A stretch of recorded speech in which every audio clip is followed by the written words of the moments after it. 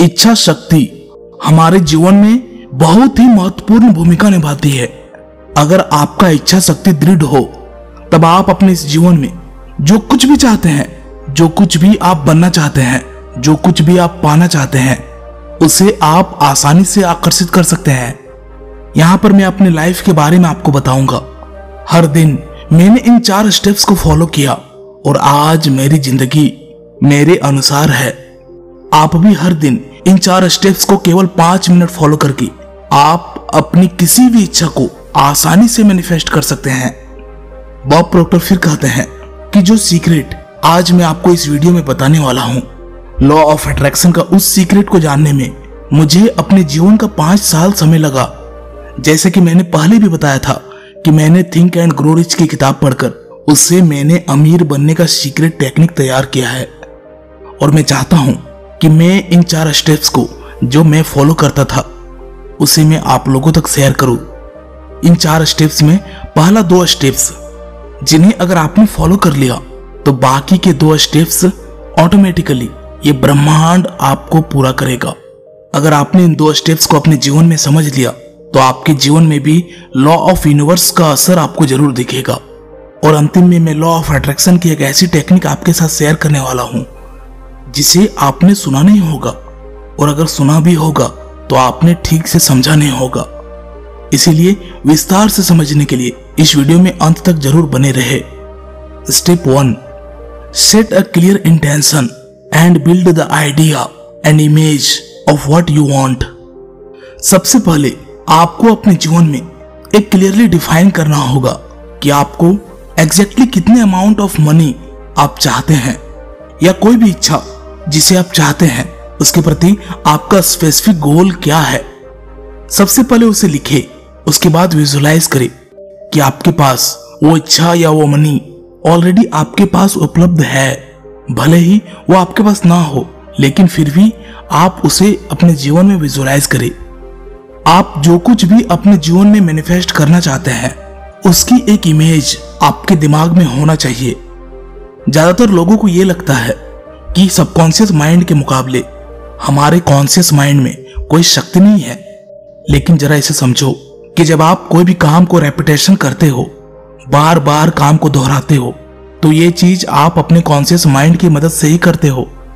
यहीं पर दूसरे तरीके से समझो, जब कोई भी अफर्मेशंस आप बार बार बोलते हो तो ये वर्क आप अपने कॉन्शियस माइंड के मदद से करते हो।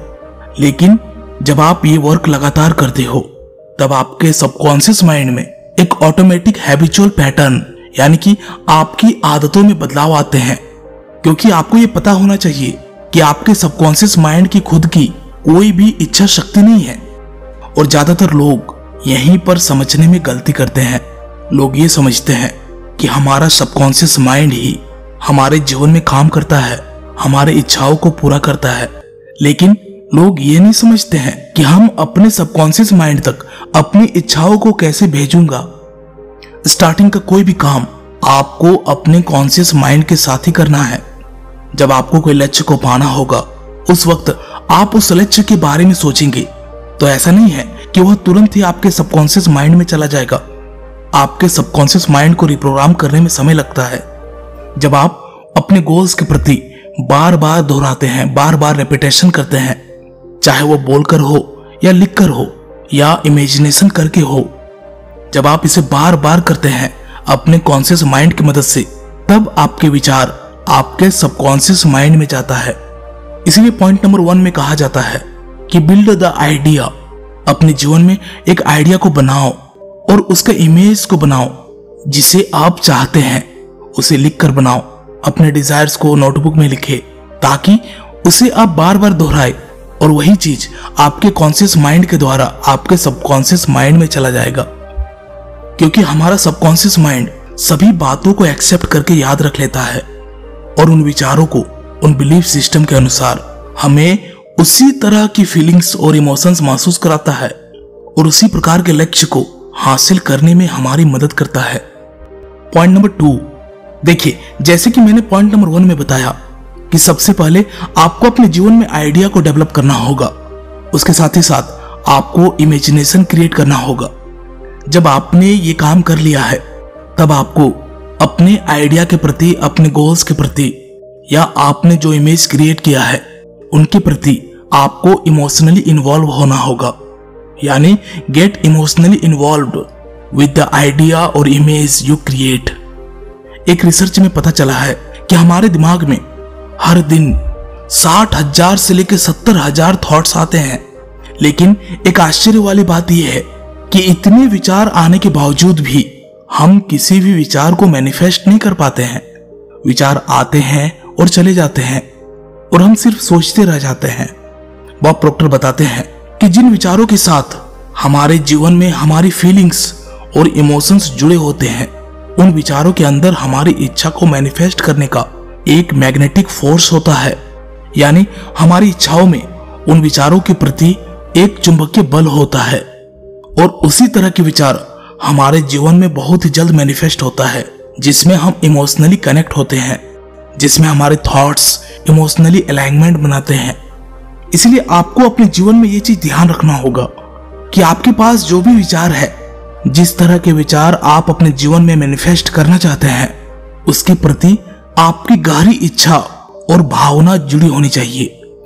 एक किताब है साइको साइबरनेटिक्स जिसमें डॉक्टर मैक्सवेल ने लिखा है कि हर दिन केवल पाँच मिनट के लिए आँखें बंद करके, मान लीजिए कि आप अपने जीवन में जिस भी इच्छा को मैनिफेस्ट करना चाहते हैं, उस इच्छा को मैनिफेस्ट करना संभव है। और इस चीज़ को अपने जीवन में आकर्षित करने के लिए, यानी हासिल करने के लिए, आपको गहरी इच्छा जागृत करनी होगी। ज़ाहिर सी बात है, आपकी इच्छा जब गहरी होगी, उस वक्त आप उन इच्छाओं के प्रति हमेशा खुशी महसूस करेंगे। और अगर आप खुशी महसूस नहीं करेंगे तो आपको खुशी महसूस करना है और अपने जीवन में उत्साह से भर जाना है। अपनी इच्छाओं में हमेशा खो जाना है और जो भी इच्छाओं को आप मैनिफेस्ट करने के बाद भविष्य में जैसा महसूस करेंगे, आपको उस वक्त वैसा महसूस करना है। यानी आपको ठीक तरीके से विजुअलाइजेशन टेक्निक का उपयोग करना है और हर दिन केवल पाँच मिनट के लिए उतने दिनों तक ही करना है। जब तक कि आपके दिमाग में उस इच्छा के प्रति जितने भी नेगेटिव थॉट्स है, वो बिल्कुल समाप्त नहीं हो जाते हैं। तब तक आपको विजुअलाइजेशन टेक्निक का उपयोग करते रहना होगा, ताकि आपके थॉट्स आपके विचार सही तरीके से आपके सबकॉन्शियस माइंड तक पहुँच सके। तीसरा है, अपने वाइब्रेशंस को बदलो। यानी चेंज योर वाइब्रेशंस आपने अक्सर ऐसा देखा होगा कि जब भी आप कोई परीक्षा में पास हो जाते हैं या कोई भी चीज़ को अचीव कर लेते हैं, उस वक्त आपकी फीलिंग्स जैसी बनती है। वो फीलिंग्स आपके सबकॉन्शियस माइंड में डायरेक्ट चली जाती है, क्योंकि उसके साथ आपके इमोशंस जुड़े हुए हैं और वही चीज़ें आपको जीवन भर याद रहती है कि आपने जब अपने परीक्षा को पास किया था या आपने जब अपने गोल्स को अचीव किया था, उस वक्त आपने कैसा फीलिंग किया था। कैसा महसूस किया था। उस वक्त आपके भीतर के जो वाइब्रेशंस थे, वो वाइब्रेशंस हमेशा पॉजिटिव वाइब्रेशंस होता है। और जब आपके भीतर के वाइब्रेशंस पॉजिटिव होंगे, उस वक्त आपके विचार में एक अद्भुत शक्ति होगी, जो कि ज़्यादा चांसेस रहेंगे कि वो विचार आपके सबकॉन्शियस माइंड तक पहुँच सके। और आपको एक बात पता होनी चाहिए कि कोई भी विचार जब आपके सबकॉन्शियस माइंड में चली जाती है, तब आपको उस विचार के प्रति जो भी मैनिफेस्ट करना है उसको हासिल करना मुमकिन हो जाता है।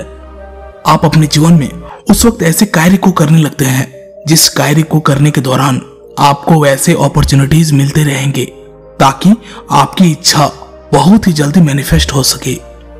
पॉइंट नंबर फोर आप वैसी चीज़ें ही आकर्षित करते हैं, जैसे कि आप होते हैं। जैसी दुनिया आपके भीतर होती है, वही चीज़ें आप बाहरी दुनिया से आकर्षित करते हैं। यानी attract what you are in harmony with Bob Proctor हमेशा कहते हैं कि जब आप अपनी इच्छा को पूरी करने के लिए भीतर से इंस्पायर्ड एक्शन लेते हैं और उसके प्रति कार्य करते हैं, उस वक्त आपके सबकॉन्शियस माइंड को आपकी इच्छा के प्रति पूरी तरह से विश्वास होने लगता है। और सिर्फ़ विश्वास ही नहीं, बल्कि आपके जीवन में उस तरह के अवसर आपको मिलने लगते हैं, जिससे कि आप अपने गोल्स को अच्छे तरीके से आकर्षित कर सके। यहाँ पर ब्रह्मांड का भी पूरा रोल है। क्योंकि जब आपने अपने गोल्स के प्रति क्लियर इंटेंशंस रखा, उसके बाद उसके प्रति इमोशंस को जोड़ा, फिर अपने वाइब्रेशंस को ठीक किया तो जब आपकी वाइब्रेशंस जैसी बनती है, उस तरह की ऊर्जा आप इस ब्रह्मांड को छोड़ते हैं। और लॉ ऑफ़ अट्रैक्शन के अनुसार, ये ब्रह्मांड भी इन रिटर्न उसी तरह की ऊर्जा आपके जीवन में देती है। यानी, ये आपके जीवन में अवसर के रूप में अपॉर्चुनिटीज़ के रूप में, या कुछ संभावनाओं के रूप में दिखती है। जैसे आप कहीं काम कर रहे हैं तो वहाँ पर आप उस तरह के लोगों से मिलेंगे, जो आपसे बहुत ही खुश होगा, आपके काम से बहुत ही खुश होगा, और उन्हीं की मदद से आप अपने काम में आगे बढ़ते चले जाएँगे। अगर आप कोई रिसर्च कर रहे हैं तो आपके दिमाग में वैसे वैसे अपॉर्चुनिटीज़ आएँगे वैसे वैसे आइडियाज़ आएँगे, ताकि आपका रिसर्च सक्सेसफुल हो सके। अगर आप कहीं इन्वेस्टमेंट कर रहे हैं, तब आपका दिमाग, आपका आइडिया उस वक्त ठीक से काम करेगा। ताकि आपका इन्वेस्टमेंट सही जगह पर हो सके। और इस प्रकार आपकी इच्छा बहुत ही तेज़ी से मैनिफेस्ट होती है। और इसी पॉइंट से आपको एक लॉ ऑफ़ अट्रैक्शन का बहुत ही बड़ा सीक्रेट मिलता है कि ज़्यादातर लोग सिर्फ़ यही सोचते हैं कि आपको उस चीज़ को आकर्षित करना है, जिसे आप चाहते हैं। लेकिन वहाँ पर यह नहीं समझते हैं कि आप जिस चीज़ को आकर्षित करना चाहते हैं, आप उस तरह बनते चले जाते हैं। मतलब आप अपने जीवन में जो भी चीज़ आकर्षित करते हैं, आप वही चीज़ों को आकर्षित करते हैं, जैसे आप होते हैं, और जिनके साथ आप हारमोनी में होते हैं। जिस तरह के फीलिंग्स और इमोशंस को आप अपने जीवन में महसूस करते हैं, आप अपने थॉट्स के प्रति, अपने डिजायर्स के वाइब्रेशंस के साथ, अपने भीतर के वाइब्रेशंस के अलाइनमेंट में हो जाते हैं। क्योंकि जिस भी इच्छा को आप मैनिफेस्ट करना चाहते हैं, वो इच्छा आपके जीवन में, आपके कॉन्शियस माइंड में हमेशा बैठी हुई है। क्योंकि आपने अपने जीवन में रिपीटेशन का उपयोग किया है। अपने विजुअलाइजेशन को राइटिंग टेक्निक को आपने बार बार किया है। इसकी वजह से ये आपके कॉन्शियस माइंड में हमेशा बैठी हुई है और आपके कॉन्शियस माइंड के वही विचार आपके सबकॉन्शियस माइंड में चली जाती है और जो विचार आपके सबकॉन्शियस माइंड में बैठा हुआ है, आप उसी तरह के इंसान हैं और केवल वही विचार के अलाइनमेंट में वस्तुएँ आपके जीवन में मैनिफेस्ट होते हैं। चाहे वो धन हो, पैसा हो या खुशी, आप सभी चीज़ों में अबंडेंस को पाते हैं। और ये सारी चीज़ें आपको ब्रह्मांड लगातार देता रहता है और इसी तरह से लॉ ऑफ़ अट्रैक्शन काम करता है। अब जैसे कि मैंने पहले भी बताया कि आपको सिर्फ़ दो स्टेप्स को फॉलो करना है। पहला, आपको अपने जीवन में एक गोल्स को, एक इंटेंशन को, एक इच्छा को, अपनी चाहत को ठीक तरह से क्लियर करना है कि आपकी इच्छा, आपकी चाहत क्या है। और दूसरा, उसके प्रति आपको विजुलाइज करना है। साथ ही साथ अपने इमोशंस को जोड़ना है, अपने फीलिंग्स को जोड़ना है और उसके बाद अपने काम में लग जाना है। फिर आगे का काम ये पूरा ब्रह्मांड का है। लॉ ऑफ़ अट्रैक्शन और लॉ ऑफ़ वाइब्रेशन के अनुसार ये लॉ ऑफ़ यूनिवर्स हमेशा काम करता रहेगा। क्योंकि जब आपके विचार अच्छे हो जाएँगे, फिर आप जब काम में लग जाएँगे, उस वक्त उन विचारों के प्रति आपके भीतर एक हमेशा पॉजिटिव वाइब्रेशन बनता रहेगा। और आप लगातार इस ब्रह्मांड को ऊर्जा छोड़ते रहोगे।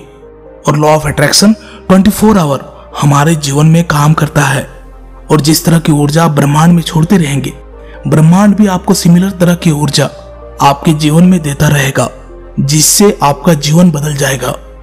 दोस्तों, इस वीडियो से आपने क्या सीखा? एक कमेंट ज़रूर कीजिएगा। और इसी तरह के वीडियोस लगातार पाने के लिए इस चैनल को सब्सक्राइब करके बेल आइकन को ज़रूर दबाइएगा। ताकि आप मेरे आने वाले हर वीडियो के नोटिफिकेशंस लगातार पा सके।